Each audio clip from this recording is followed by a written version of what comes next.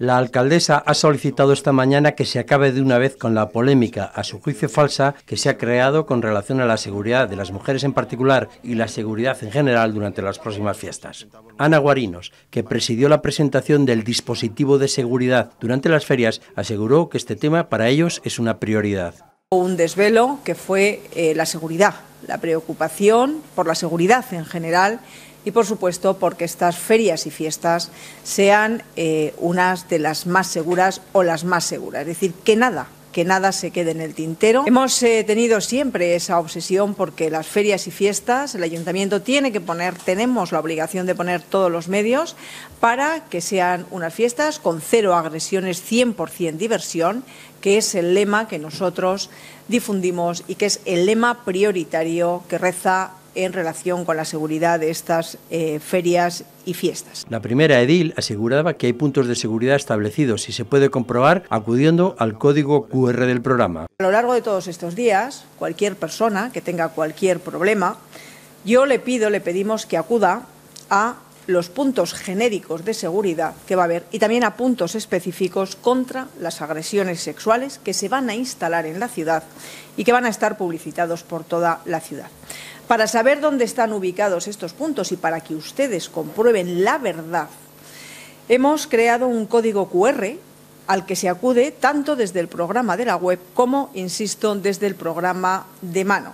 Es muy sencillo y tengo que recalcar que es la primera vez, la primera vez que este sistema, este código QR, se utiliza para ofrecer información y también mayores garantías de seguridad. Insisto, está en la página 6 del programa de ferias y fiestas. Porque todo ello dirige a un mapa con todos los puntos que se han creado. Nos dirige a un mapa, que es el que ustedes están viendo también en la pantalla grande, que es el del perímetro de la feria, y en el que están colocados tanto los puntos genéricos de seguridad como los puntos específicos contra las agresiones sexuales. En los puntos genéricos de seguridad estarán policía local y protección civil. Y en los puntos específicos contra la violencia sexual y contra las agresiones sexuales, para prevenir las agresiones sexuales, que estarán ubicados en las proximidades de los puntos de la Policía Local y de Protección Civil, son espacios, como ya he dicho, para la información y atención privada y especializada en el caso de que una mujer pueda ser víctima de agresión sexual o cualquier persona pueda ser testigo de una agresión y vaya a pedir información o incluso a demandar dónde tiene que presentar la correspondiente denuncia. Y presumió de que este año hay más puntos de seguridad que otros años. Este año no solamente, insisto, es relativamente sencillo porque están localizados. Primer año, primer año, insisto, en el que se establece este sistema de acceso a través de un código QR que facilita los puntos de seguridad genéricos y específicos contra las agresiones sexuales. No solamente es el primer año que se instalan, sino que también se añaden nuevos puntos contra las agresiones sexuales.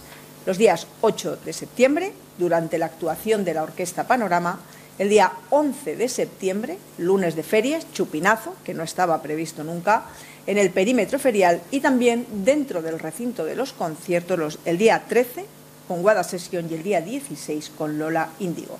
Y además contamos también con la colaboración de Cruz Roja Española para recabar y repartir este tipo de información. Por último, destacó que se van a repartir entre las peñas vasos y se van a colocar banderolas contra las agresiones sexuales. Además, se van a repartir entre las peñas 6.000 vasos. Vasos con esa imagen de cero agresiones, 100% diversión y el código QR para que cualquier persona con ese vaso pueda también dirigirse a estos puntos de seguridad. Más banderolas, más carteles en la Plaza de Toros, en Santo Domingo y en las proximidades de estos puntos. Por lo tanto, si cualquier persona necesita recabar información, puede acudir directamente de una forma sencilla